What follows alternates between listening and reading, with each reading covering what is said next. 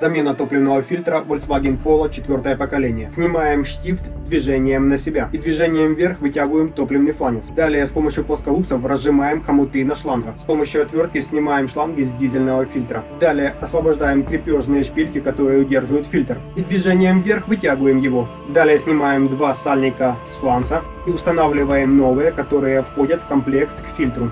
Далее устанавливаем новый фильтр в крепежную колбу. Далее устанавливаем топливный фланец и фиксируем на штифт. После этого одеваем два топливных шланга, не перепутав их местами. И фиксируем их хомутами с помощью плоскогубцев. Ставим лайки, подписываемся на мой канал. Только для подписчиков доступны все видео без ограничений.